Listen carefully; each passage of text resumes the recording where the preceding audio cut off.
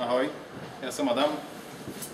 Asi ma, asi ma dosť ľudí nepozná, ale ja som v podstate prišiel, prišiel len vysvetliť, čo som myslel, čo som myslel týmto tu.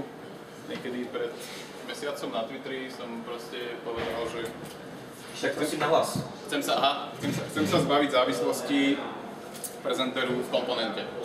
Že také, takí ľudia, čo poznajú, že this, this presenter niečo, tak toho sa ja chcem zbaviť. A v podstate mi ide o toto, akože či, či sme schopní buildovať tú appku e, len z komponent. Akože píšeme v podstate len komponenty a prezentery sú na niečo úplne iné. Takže toto, toto je môj problém, určite aj váš. Je to nejaké, každý druhý. Ne, dobre, v pohode. Uh, takže keď som teda na Twitteri vyhlásil, tak, tak som dostal také odpovede, akože na čo by som to robil, keďže prezenter je aj tak prezenter komponent, myslím. Aký je benefit? To bol Filip, ak si dobre pamätám, a teda nemám používať prezenter, ale eventy. Bohužiaľ, toto, tohto sa nezbavím, to je proste tak. Aký je benefit? Je to v podstate o filozofii a izolácii tých komponent a filozofii, si, filozofii písaní tej aplikácie. A e, nepoužívať prezent, teda nepoužívať prezenter a použiť eventy, tie používam. Takže to je, to je must be. OK, sme, či sme schopní teda písať tú apku len, len z komponent. Bavím sa o nete komponentách, out of the box, žiadne rozšírenia, nič.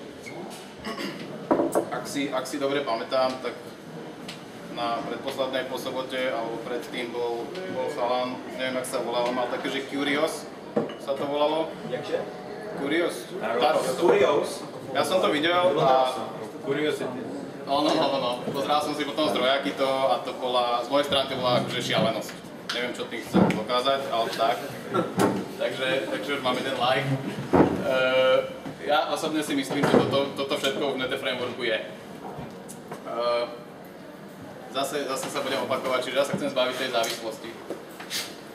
To není až taký problém, keďže použijem eventy, alebo teda kdyby eventy kvôli malej reklame, tu je, tu je best practice, ako to robiť, je to na planete, čiže koľko z vás to robia takto. Že tú komponentu, výborné, dvaja, traja, vlastne ja, už asi piati, hej, je tu cca 40 ľudí, myslím. Ako to robia tí druhí? This presenter a idem, hej, akože hardcore. Uh, to je fajn, ale to oni potom sa narazia jedného času a prestanú ich to baviť a zistia, že budú musieť prepisovať dosť veci. Takže tu vám akože doporučím nič iné, len používať eventy. Na, presne na toto, aby, som, aby tá komponenta len odhalí v podstate cez public API, aké má, aké má signály a ten prezenter na ne reaguje a keď potrebuje presmerovať, tak to presmeruje prezenter, nie je komponenta samotná. Čiže vybavené. Čas mám dobrý. ale, ale nie, tá dependencia tam stále je a, a kto vie, kde je. Že ktorý z vás. Filip možno vie, Neviem, ale ktorou myslíš. tak tá závislosť na prezenter. Stále tam je. Stále tam je a ona je tu. Áno, na linky, no. Presne tak. Uh, toto je browser, toto je menší browser, ale aj tak browser, lebo tá link factory je, je, je dobrá. V podstate nerobí nič iné, len obavuje nejaký router. Ale toto je tá závislosť. A tu je, ty to asi nevidíš. že? To nebude fungovat, tam link factory je hloupější než present 3 link, tak to musí být napsaná edge. No, to mi, áno, ale tu už by sa mi to Ja, odvolalo ja. do druhého riadku, takže vieme, vieme, o čo sa jedná. Uh, tu, je, tu je znázornenie, že prečo, prečo a čo to vlastne robí, čiže ja v tej komponente síce používam signály, ale v šablónach ich používať nedokážem. Takže ten, ten, ten čert tam stále je.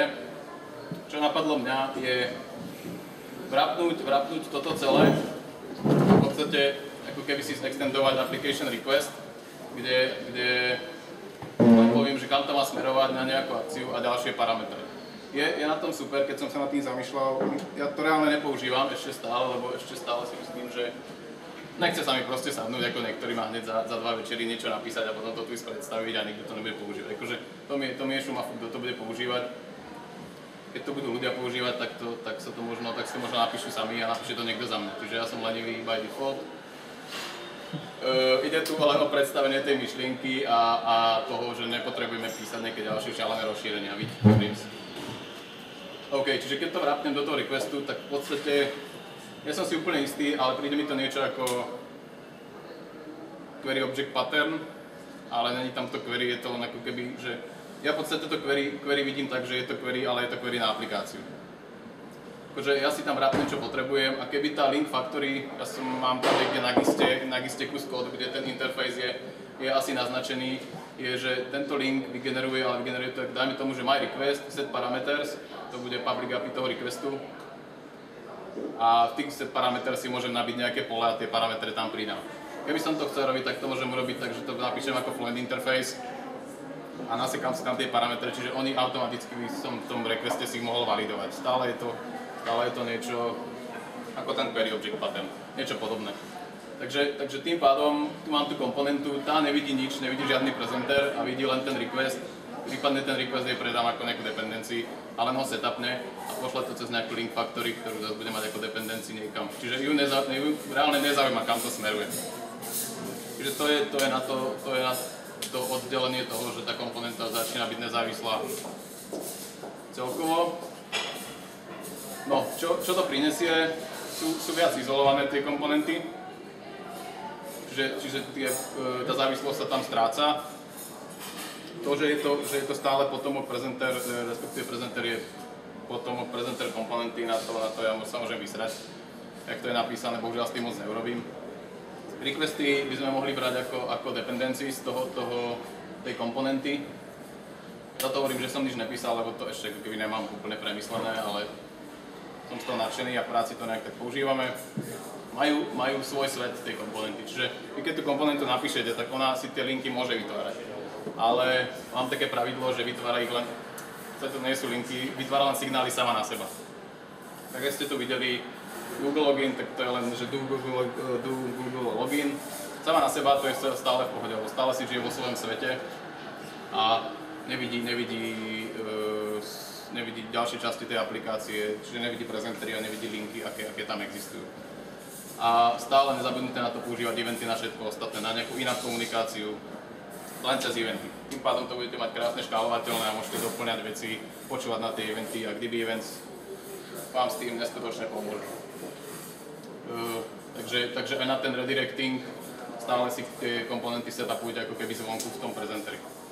Čo nám ostáva na prezenteri je len to, že dajme tomu, že nám ostane uh, managing tých redirectov, vytvárajú komponenty a v podstate skladajú tie views, uh, tie šablóny pre, pre prezentery sú len v podstate pozostavené zo samých komponent. Nič, nič, nič, nejaké, nič nejaká žiadna logika tam nie je, sú to len nasekané kontroly plus minus nejaké HTML, ktoré, ktorým si to vrápnete. Takže, takže tu, tu mi to príde, že toto ostalo z prezenterov z mojej strany. Aké to má výhody? Zase je to tá izolácia, lepšia to je stabilita, z čoho tá myšlienka vznikla je, je tam budem mať niekde neskôr, ale v podstate viete to ako keby lepšie štýlovať, keď to potrebujete, čiže tá komponenta, dajme tomu, že sa bavíme o responsívnom dizajne, tak tá komponenta sa správa a žije si len v tom svojom priestore, ktorý má v, tom, v rámci toho, v rámci tej šírky toho, jak sa to tam volá, view. A môžete si napísať komponent factory, ktorú ja som nemám napísanú ešte, stále to píšem akože prezentery, aby som potom možno niekedy sa mi to podarí a zistím, že OK, že stále sa tu opakujem. Takže môže to byť výhoda, Zároveň začnem od, spodu, od spodku, môže to byť nevýhoda, lebo vy potom ste robiť také tie veci, akože na homepage, ste na homepage, tam napíšete, že v podstate dokážete spustiť akúkoľvek komponentu cez URL. Toto má niekde Honza Tvrdík, myslím, e, prezentáciu o tom, že ako sa dajú, ako sa dajú spúšťať na tých komponentách, ktoré vlastne ani nie sú možno viditeľné, ale nie sú v tom view tieto veci. Čiže tie prezentery, keď to vytvárate v tých prezenteroch, tak plus minus si to ako keby rozdeľujte na nejaké klieviky, takže, takže to máte viac menej bezpečnejšie, ako keby ste mali nejakú komponent factory. Uh, nie, je to, nie, je to, nie je to moc dobré na celé apky, zatiaľ asi nijak, nenašiel som na to použitie. Takže stále sa tu bavím o renderovateľných web, web, web, weboch a web aplikáciách. Na to použite konzol, tam nie je o čom. A je to o trošku viac písané, si myslím. Nie som o tom úplne presvedčený, ale boli by tu len dva, tak nech je to tak 4 vnútrom. OK, uh, ako tú aplikáciu písať? čo mi, čo mi z toho celého vychádza je, že, že všetko, je, všetko je komponenta. Že tuto mám klasický nejaký bar, presenter, default, šablónu, nejaké menu, ktoré môžete mať a môžete si to inkodovať cez nejaké cez, cez latte fily. Tu dajme tomu je nejaká funkcionalita, čiže celé sa to premietne do tohto a takto momentálne v práci do appku píšeme akože kontrol, kontrol, kontrol, stále kontrol. Nič viac. Takže, takže je to v podstate už len rozbité do, do nejakých komponent. Čo nám z toho vyšlo sú dva typy komponent. Mám to statické, dynamické, statické, to je asi jasné. Mám, ten, ten namespace si nájdete vlastný. Uh, sú to v podstate statické, statické latte fily, teda nič, nič žiadna dynamika, žiadne právko tam nemusíte písať, nevie to nič, nevie to signály, je to len zobrazuj to a hotovo. Aby ste nemuseli pre každú, pre každú takúto chujovinu vytvárať, vytvárať akože komponentu samotnú a nemusí sa to inštancovať a proste nič. Je to, taká, je to také medzištádium, kedy keď si to takto uložíte, tak potom vytvoriť z toho komponentu je zobrať ten latte file, hodiť to, hodiť to do v odragu tej komponente a v tej si to vyrendrujete a robíte si dynamiku. Čiže stále ste izolovaní. Dynamické komponenty, tam je to jasné, tam je to o inštancii UI control. A čo sa nám ešte osvedčilo je, že tá komponenta ako taká nešaha na, respektíve nemá závislosti na nejaké core aplikačné služby, ako, ako sú možno databáza, to som trošku prehnal, ale nejaké servisné služby, ktoré, ktoré modelujú. Vždy, vždy prístup k tomu modelu tej apky je cez, cez nejaké vlastné služby, respektíve možno na začiatku jedna, čiže čo jedna komponenta, čo komponenta, to služba k nej a tá sa stará o toto všetko. Potom sa vám to môže akože časom rozvetovať a viete si to pekne prepisovať a môžete, to môže to byť vzťah akože jedna k jedna komponenta, viac, viac služieb k nej, priamo v tej, tej komponente až tie šahajú na, na core služby, služby tej apky. Uh, viete tam tiež krásne používať v tej servise eventy. Takže čo, čo to všetko obnáša a čo mi z toho vychádza, že stále používate eventy tretíkrát pre in komunikáciu, uh, používajte, používajte requesty, Čiže tými requestami sa dá, aj, sa dá, sa dá zakryť to, kam, kam tá komponenta chce ukazovať v rámci apky. Čiže vy, vy keď premenujete jeden prezenter, tak to zmeníte v tom requeste a ste safe. Akože stáva sa to a môže sa to stávať veľmi často. Záleží ako to píšete. Čo mi z toho zase vypadáva, ďalšie je component first access, čiže keď chcete napísať nejakú funkcionalitu, tak to rovno vrápujte do komponenty. Nemyslím si, že by to bol až taký over, overhead, kým to napíšete. Viete veľa kódu vygenerovať, veľa kódu vám pomôžu pluginy do, do Stormu. Takže tú komponentu máte rýchlo, rýchlo naštartovanú a v podstate takéto veci si, si vrapujte do komponentu. A držte si tie prezentery čo najčistejšie, to znamená, že aby sa starali len o to, čo majú. Tie, tie závislosti si oddelujte proste takto striktne. My to tak robíme a momentálne chodíme šťastní z práce aj po obede, nemusíme tam ladiť nejaké Google loginy, ktoré nefungujú. A to je v podstate všetko. Je to, je to, ako som hovoril, není to, není to nič, nemám žiadne funkčné príklady, je to v podstate o filozofii toho, ako si to písať a nemusíte potom sedieť týždeň alebo víkend, ja viem, že tie víkendy nemáte čo robiť, ale netreba vám písať nejaké curious, keďže to v nete frameworku je proste vstávané samo, len to, len to treba z môjho pohľadu vidieť. Takže, takže tak, ja som tam ešte niekde poznámku.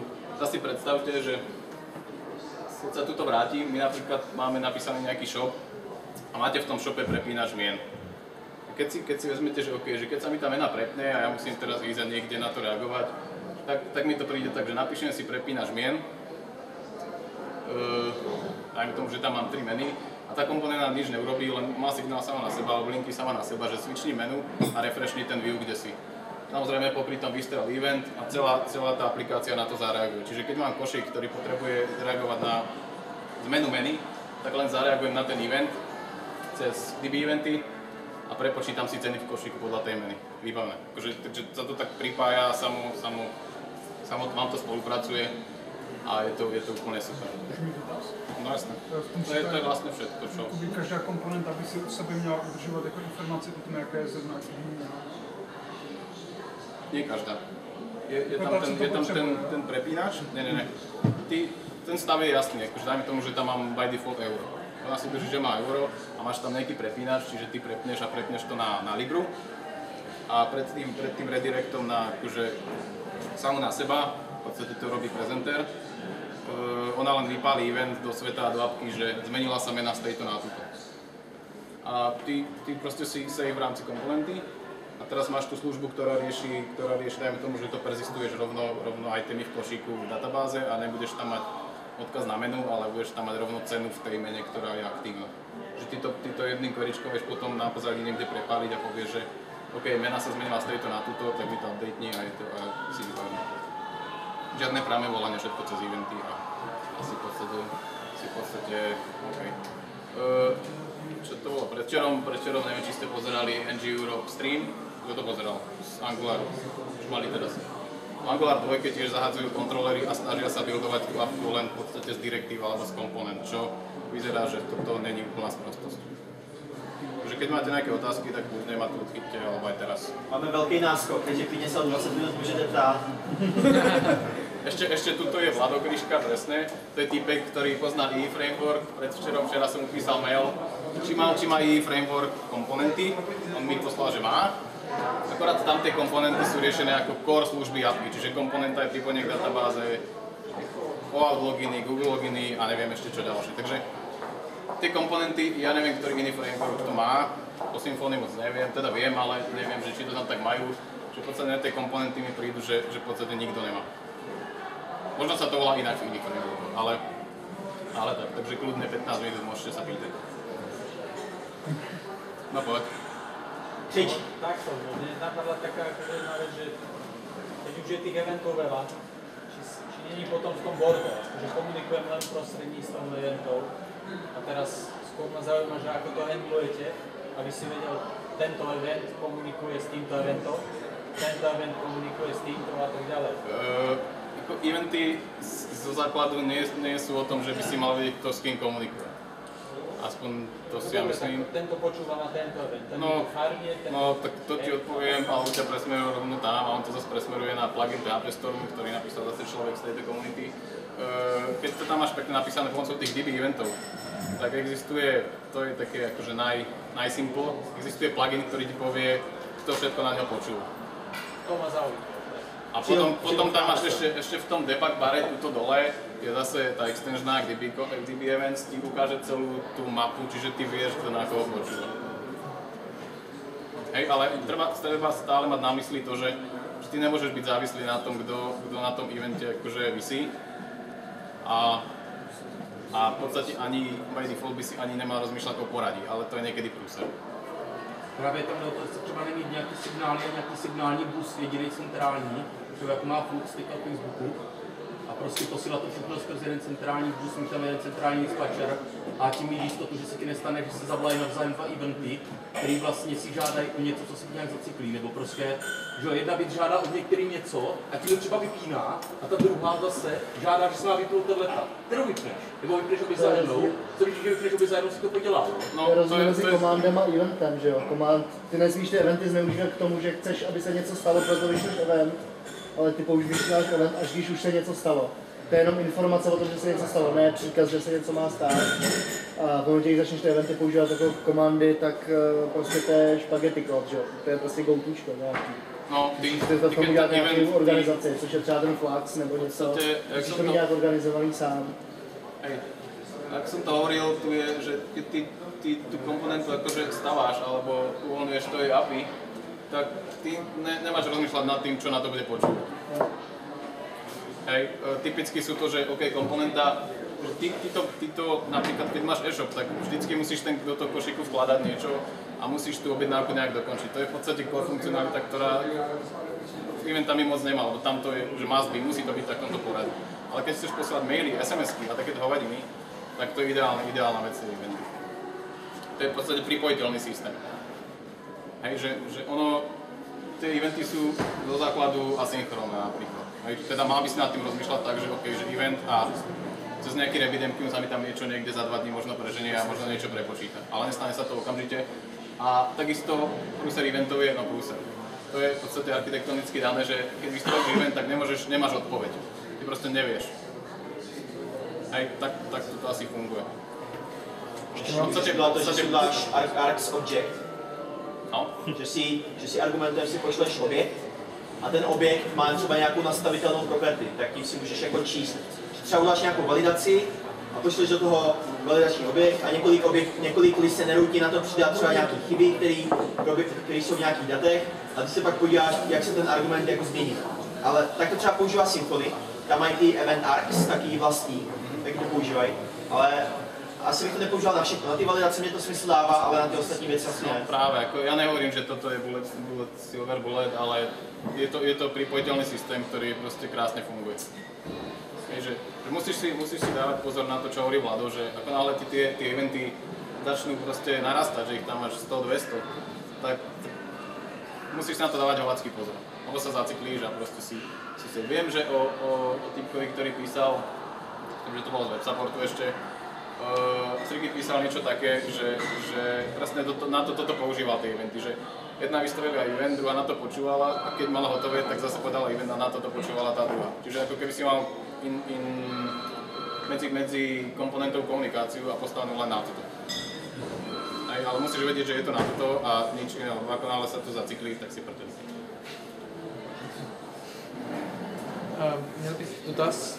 Uh, kdyby jsme měli dvě komponenty, jeden ten, ten changer na ty měny, potom bychom měli prezenter, kterým by, ty dvě, kterým by teda žila ta ta komponenta a ještě by tam byl řekněme nějaký grid, který by, by, by prostě vykresloval nějak něco prostě v těch měnách.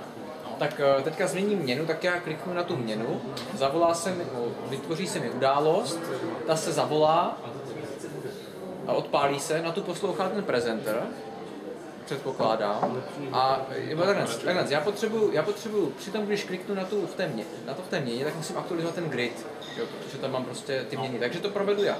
Mám nějaký jakoby globální něco, v čem, v čem jakoby, na čem všichni registrují tady ty události, anebo si to řeší ten prezenter, nebo kdo to řeší? To? No práve, práve to, to je celé o tých DB eventoch, Aha. že oni ti to riešia tak ako keby automaticky. Oni, oni fungujú na tom, že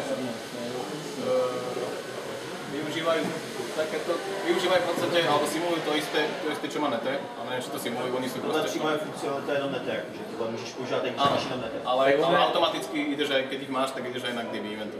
A tam je ten centrálny bod, myslím, tam je ten centrálny event dispatcher, ktorý, ktorý potom ti to tohle vyrieši. komponentu zaregistruješ do kontejneru, Tak, tak tohle se ti potom propaguje i do systému sebe. Ono je důležité rozlišovat mezi těma nete eventama, což jsou spíš jako observer pattern, Ano, který se vážou ano. na ten objekt, a pak mezi kdyby eventama, což jsou jako uh, vázaný na ne? ten event, event manager. ale A ty jsou, A- takže kdyby events jsou prostě, jsou, jsou prostě Kdyby globální. ty events se navážou na tyhle Jo, eventy, jo, propagují ty se prostě vážou na všechny Aha. registrované služby a na Jo. všechny uh, instance prostě tý... Že tak, tak ako to riešime my je, to niekde mám, že my máme tú komponentu, že OK, keď sa klikne na tú menu, tak ona vystrelí event, respektíve ja to pošlem do služby, do tej, do tej samotnej služby pre tú komponentu a tam vystrelí ten event. Že my, my tie eventy nemáme priamo na tých komponentách, máme ich až na tých službách. A tá služba už, už používa len čisto grid eventy, čiže tá druhá služba pre, tú, pre ten grid, ktorý, ktorý e, dodáva dáta tomu gridu, reaguje na to, že sa tá, tá mena zmenila, čiže tie dáta prídu iné.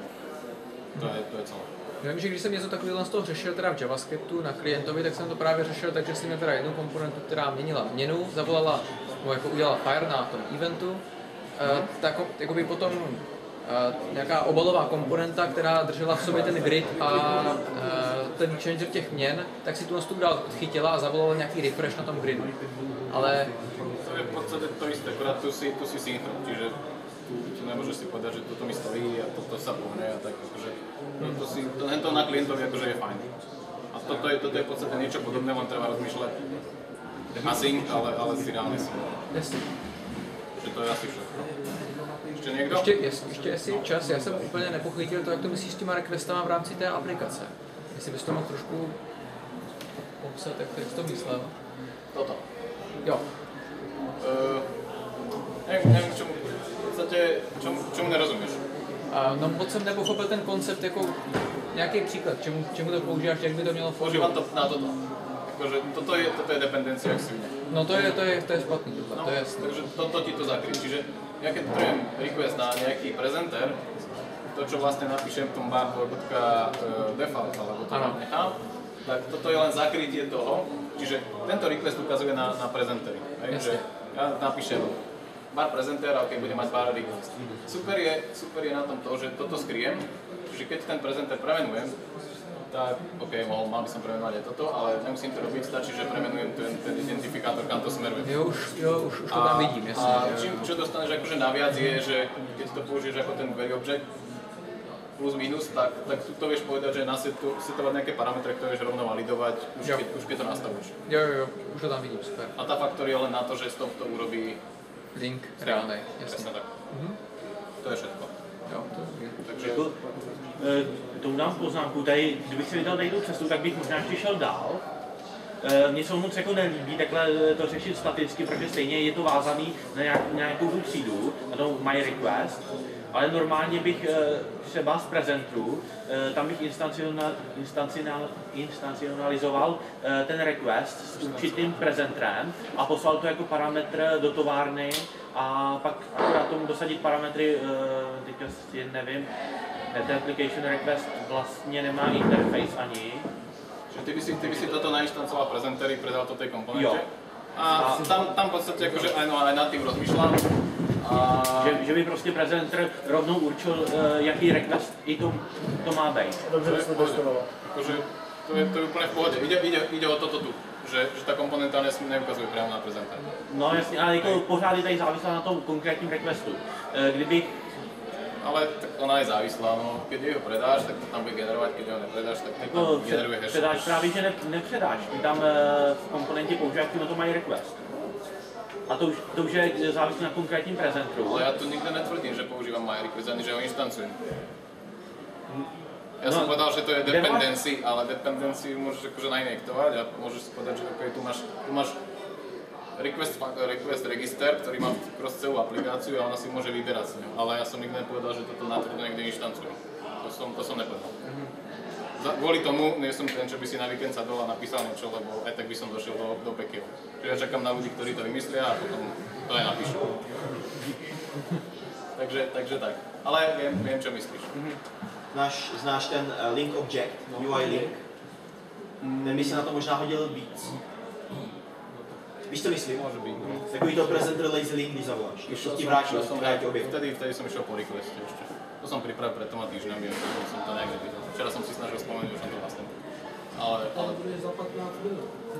Takže to je asi všetko. Už nemáte nikto nič.